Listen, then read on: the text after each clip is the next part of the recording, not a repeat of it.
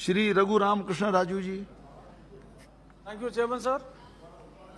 This is regarding recently Government of India, Honorable Minister Mr. Jaishankar also had spoke about the burgeoning debt of various states and the precautions that we will have to take wherein several states which are likely to go on the Sri Lankan way.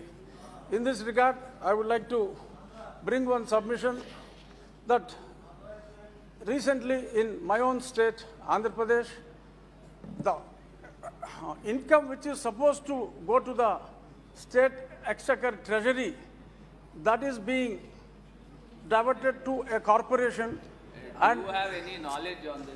Sir, he see, is sir, talking about let me state- speak sir, I am not allowed to enter my parliament and I am not allowed आप to आप talk क्यों here. आप आप अपनी बात रखिए Why are please they talking unnecessarily? What mister do- Raju I have all the you evidence. just just speak your Yes, the government of Andhra Pradesh has come up with an Act 9 of 2022, wherein the income which is supposed to have got accrued to the treasury has been diverted to AP State Beverages Corporation.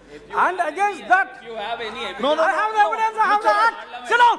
Don't, just address the chair and complete your complete your submission. Please, please, Mr.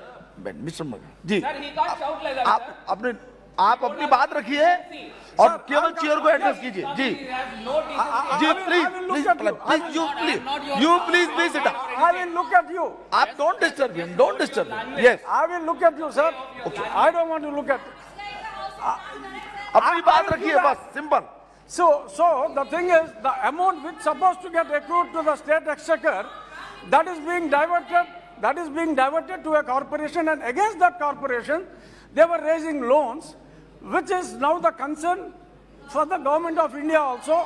They were talking additional loans should not be taken. I will give all the details. I I will give all the details. because somebody is managing, just because someone managing some institution, it won't take us anywhere. I will give all the details.